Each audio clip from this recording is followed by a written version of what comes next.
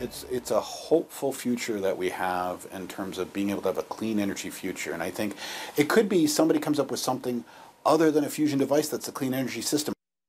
Professors at Michigan State University are excited about the future of nuclear fusion energy. The road to clean energy could be one step closer tonight. Scientists announcing a new milestone for nuclear fusion energy. Good evening. I'm David Andrews. And I'm Ann Emmerich. News 10's Mars Anderson spoke with an expert who breaks down this new record and what it could mean for the future of powering our world.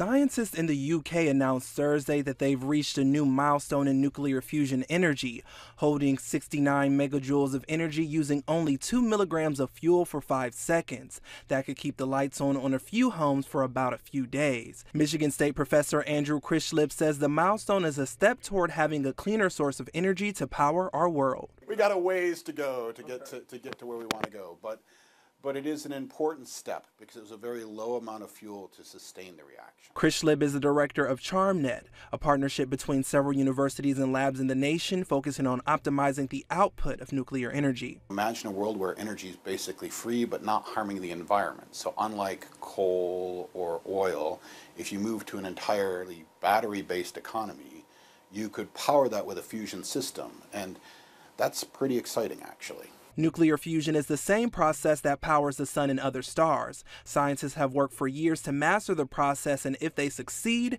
fusion could create large amounts of energy with only small amounts of fuel. I do think we're within 20 years of uh, sustainable fusion device. The question then becomes You've got the device, you've got energy coming out of it. How are you harnessing the energy? Christlieb says what made the experiment so significant is how long it was able to harness the energy. Those few seconds could mean moving from minutes to days to weeks, months, and even years. An interesting advancement offering cleaner energy for a cleaner future. In Lansing, Mars Anderson, News 10.